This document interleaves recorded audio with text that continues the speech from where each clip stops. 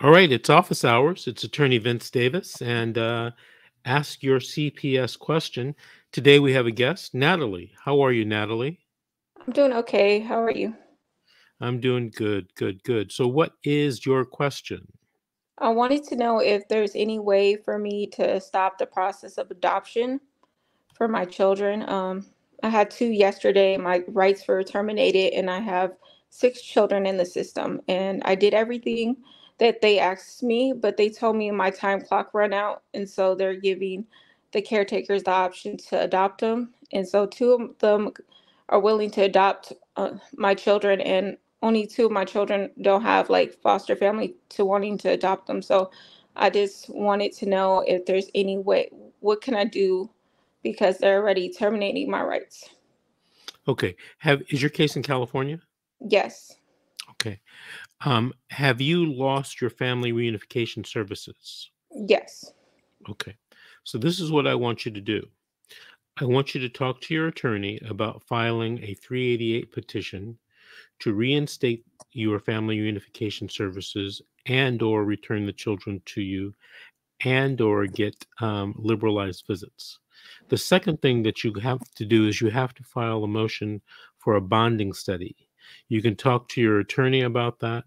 Um, a bonding study is one of the best defenses to stop the termination of parental rights.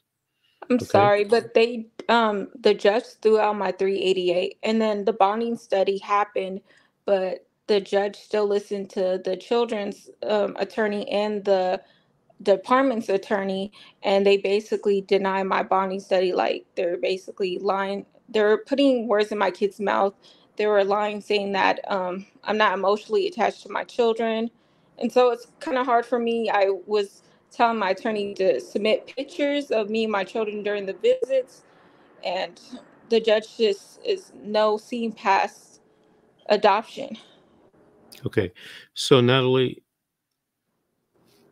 I'm trying to find the politically correct way to tell you this. Right? You asked me a question, I'm giving you an answer. Okay. Now, if the judge has ruled against you, you have to file an appeal or what's called a writ, take it to a higher court right. to get the judge overruled. That's W R I T. For example, one of the best defenses you have statutorily to the termination of your parental rights is to prove that you have a relationship with the children, a bond, such that if your rights were terminated, it would be detrimental to the children, not to you, but to the children. Now, the only way to do that, in my mind, or the best way to do that, is with a bonding study. So if the judge denied a bonding study, um, you should take that up on a writ. The reason why the county attorney and the minors attorney argued against it is because they want your rights terminated. Okay, you think they're acting fair. No, they're not. They want your rights terminated. So you have to do everything possible to make sure that you can stop this termination of your parental rights and the one is the bonding study, and the two is the 388. If the judge filed um, or denied your 388, file an appeal and also file a new 388. Correct whatever errors or shortcomings it had. You can file a new 388 with pictures. You mentioned those pictures. I think that's very good evidence, pictures. And number two, if they denied your bonding study, file a writ. You got to file an emergency writ to the Court of Appeals. And of course, if none of that works when you do appeal, if your rights are terminated, okay, um, you got to make those issues part of the appeal. Are your children with friendly relatives? Um, the department, well, the social worker. Uh, that's Natalie. That's yes or no.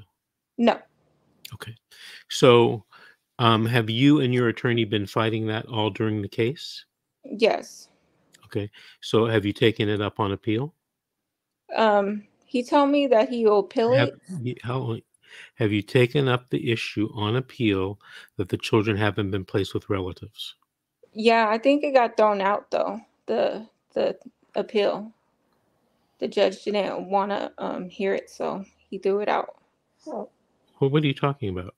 An appeal goes to, well, the, the appeal goes to a higher court where there are three justices. They just don't throw out appeals.